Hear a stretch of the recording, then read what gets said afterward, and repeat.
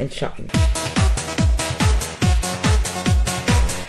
آه، قبل ما نختم لقانا اللي متبقي عليه 10 دقايق. أستاذ خالد آه، لازم نقول المنتخب الوطني الأول وحكاية المدير الفني اللي محدش عارف مين اللي متولي آه، هذا الموضوع واللجنة الخماسية ومن سيقدم أوراق اعتماد لمدير فني جديد لمنتخبنا آه، الوطني. الأيام بتمر محدش واخد باله.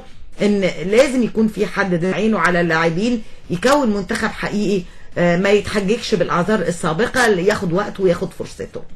هو يمكن اتحاد الكرة المصري منتظر بطولة كأس أمم أفريقيا يمكن هتنطلق آه، خلاص خلال أيام عشان غالبا المدرب اللي جاي هيكون أحد مدربي منتخبات أفريقيا سواء الفرنسي هيرفي رينار آه، سواء آه، ألان جريس المدرب الفرنسي مدرب منتخب السنغال ويمكن ده كان كلام عليه أكتر امبارح. يمكن أحد المواقع الأفريقية المتخصصه في شؤون الكرة الأفريقية قالوا إن اتحاد الكرة يمكن أبرم اتفاق مبدئي كده مع ألان جريس المدرب الفرنسي آه، مدرب منتخب السنغال إن هو يتولى تدريب منتخب مصر عقب نهاية كأس أمم أفريقيا بإذن الله. وقالوا إن هو بعد نهاية البطولة هيحصل على اجازه لمدة أسبوعين وبعد كده يجي مصر ويتم التعاقد بصورة رسمية. فنتمنى إن شاء الله لو كان فعلا يعني ألان جريس هو مدرب مميز جدا وعنده خبرة وباع في في الكرة الأفريقية. أعتقد ممكن يعني إن شاء الله لو جه يكون اختيار صائب من اتحاد الكرة. لكن نتمنى برضو لو في اتفاق يعني يكون اتفاق رسمي قبل البطولة أحسن لأن ما تيجي نقول ال CV بتاع ألان جريس طبعا هو درب منتخبات كتيرة جدا في, في قارة أفريقيا درب الجابون آخر حاجة درب السنغال وقدر إن هو كان كان بيلعبنا في. التصفيات اللي فاتت وقدر إن هو يفوز على منتخب مصر ذهابا وايابا ووصل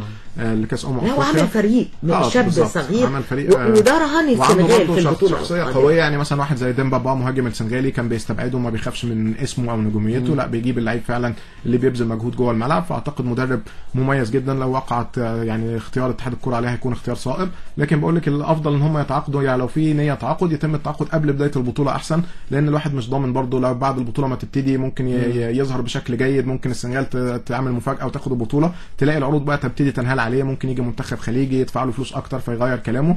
فعشان كده لو في آه، يعني اتفاق معاه يتم توقيع العقود قبل البطولة ده هيكون أحسن لاتحاد الكرة المصري. ويكون النظر بصرف النظر عن النتائج اللي هو هيعملها في البطولة لكن بالظبط. اللي إحنا آه، يعني آه، شفناه إن هذا الرجل اعتمد على مجموعة شابة عناصر من آه، الشباب في السنغال وقدر إنه يعمل بيهم نتائج طيبة جدا ويوصل آه، أمم أفريقيا على حساب مين؟ منتخب مصر. مظبوط طبعا. عمل نتائج كمان إيجابية مع منتخب تونس كان هو يمكن من أحد أفضل المنتخبات آه، في التصفيات. بقول لك هيبقى اختيار مناسب جدا لمنتخب مصر إن شاء الله.